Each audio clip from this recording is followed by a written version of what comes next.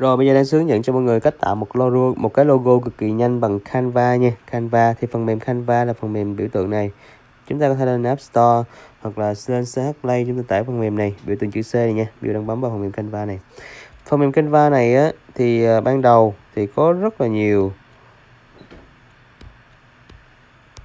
Đây, ban đầu á thì nó có rất là nhiều cái uh, cái mẫu khác nhau. Thì đây chúng ta có mẫu hết hết rồi.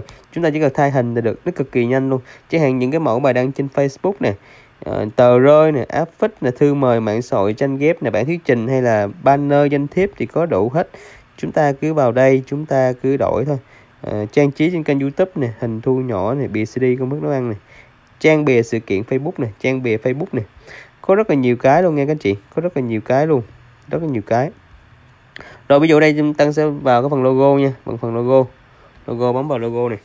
Thì đây có rất là nhiều logo cho, cho chúng ta để chúng ta có thể là uh, mình lựa chọn và chúng ta chỉ cần là đổi tên thôi. Đổi tên thôi. Cực kỳ đơn giản luôn cực kỳ đơn giản luôn. Ví dụ ở đây nè ở đây nè có rất là nhiều cái logo khác nhau thì chúng ta cứ việc chọn một cái logo bất kỳ mà chúng ta cảm thấy là cái logo này nó thích hợp với chúng ta à, với à, sản phẩm và dịch vụ của mình ấy tùy cái mẫu mình thấy phù hợp nữa. Thì mình chọn cái logo đó. Ok mà. Ví dụ ở đây thì đang sẽ kiếm một cái logo bất kỳ một cái logo bất kỳ. Ờ, à, đang lấy lại một cái nha. Lấy một cái thì đang làm mẫu cho mọi người biết cái cách làm. Để sau này mình có thể làm. Bây giờ đang lấy cái này đi. Uh, total workout này. Bấm vào đây. Ví dụ cái logo bất kỳ nha thì chúng ta đây cái logo này chúng ta có sẵn rồi để chúng ta sửa chúng ta bấm vào sửa thôi bấm vào phần sửa thôi bấm vào sửa này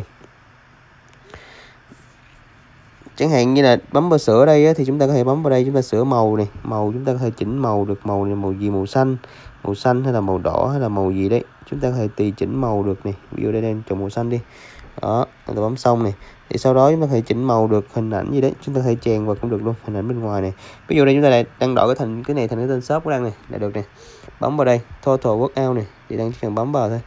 Bấm vào đang đổi chữ.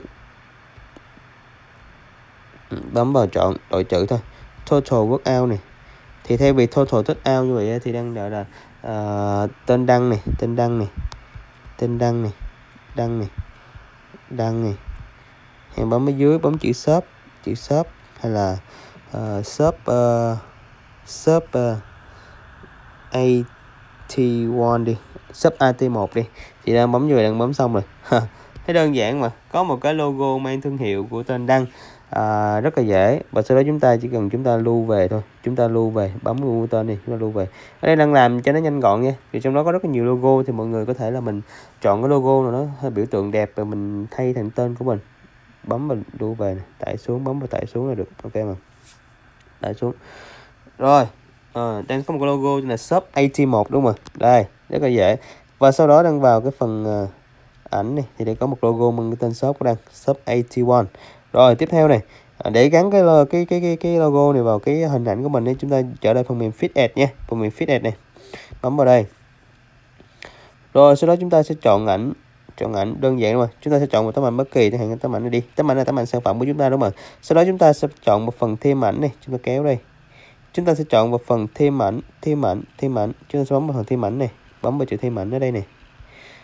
Thêm ảnh. Chúng ta sẽ chọn cái logo chúng ta. À, bấm vào thêm. Đây. Đó thì chúng ta dễ như vậy. Chúng ta có một logo như vậy. Ok mà. Logo trên sản phẩm chúng ta có thể chúng ta có thể thu nhỏ được. Thu nhỏ thu lớn như vậy. Ok mà. Hoặc là chỗ đây chúng ta có chữ hòa trộn dưới đây nè. Bấm vào đó có chữ hòa trộn này. Nó mờ đục này. Đó. Chúng ta có thể chỉnh này thành mờ đục hay gì đó. Hoặc đây chúng ta có chữ hòa trộn bấm vào hòa trộn. Nhiều lớp. Đây. Đó nào bấm vào đây thì chúng ta nên chọn cái màu nền là phông trắng là tùy theo cái phông ấy thì chúng ta có thể đặt shop, tên shop như vậy. Ok mà, đẹp mà. Rồi, đơn giản thôi. Chúng ta bấm vào đây, chúng ta bấm hòa trộn này, có nhiều cái cách hòa trộn khác nhau. Thì chúng ta tùy theo, chúng ta bấm. Ok mà mà nhiều lớp thì ok hơn. Nhiều lớp này đẹp đâu mà. Rồi, xong, chúng ta áp dụng, là ok. Rồi ở luôn. Xong. Rồi, chúng ta vào phần ảnh chúng ta này chúng ta vừa có một cái sản phẩm mà mang tên shop logo tên là shop đăng shop 81 là AT1 ấy rất là hay rất là dễ và rất là đẹp rất cực kỳ đơn giản đúng không ạ? Thì à, à, mọi người xem cái video này mọi người làm theo. Và xin chào và hẹn gặp lại các anh chị vào những cái video sau.